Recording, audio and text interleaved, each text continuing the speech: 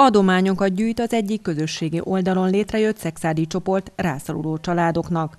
Több civil szerveződés segít különféle módon a koronavírus járvány miatt nehéz helyzetbe kerülőknek, valamint a járvány megfékezésén fáradozó mentősöknek és kórházi dolgozóknak.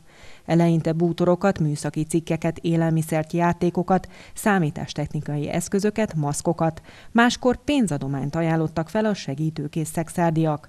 A civilekből verbúválódott csoportok vezetői pedig továbbadják azokat a rászorulóknak, vagy abból közösen eldöntve az adományozókkal eszközöket, élelmiszert vásárolnak, vagy éppen főznek.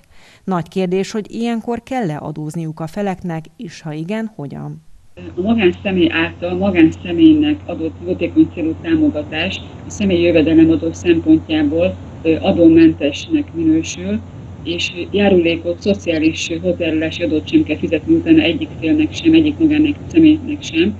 Az adómentességnek egyedüli feltétele az, hogy a támogatásnak nem lehet célja, hogy a támogatást nyújtó ellenszolgáltatást kapjon.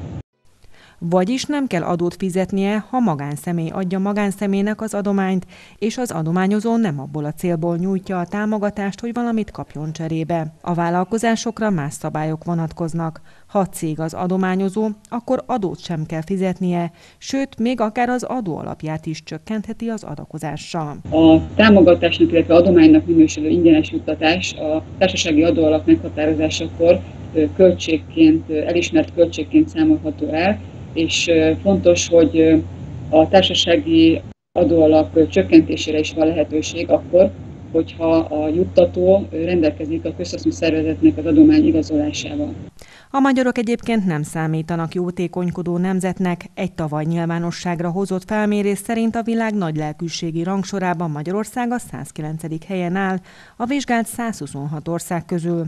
Míg a top 20 országokban minden második ember segít, önkénteskedik vagy éppen adakozik, addig nálunk minden negyedik, ötödik, Kínában, Görögországban pedig csak minden hatodik ember csinálja ezt.